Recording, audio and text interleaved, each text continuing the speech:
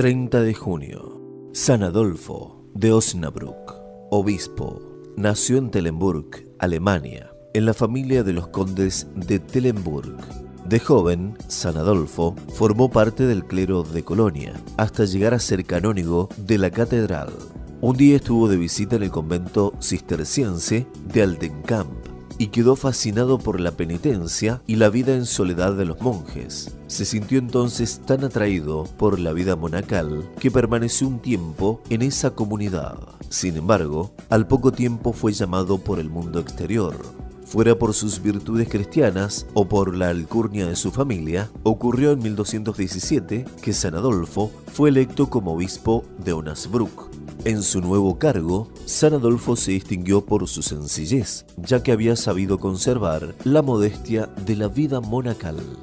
Realizó numerosas curaciones y abogó especialmente por la protección de los pobres, los leprosos y los enfermos de peste.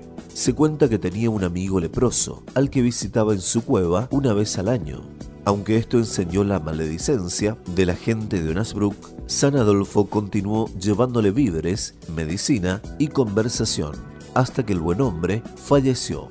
El culto a San Adolfo de Onasbruck fue aprobado en 1625 por el Papa Urbano VIII. Iconográficamente se lo representa con un bastón pastoral. San Adolfo de Osnabrück nos enseña el valor de la convicción para ocupar los puestos que la sociedad nos encomienda.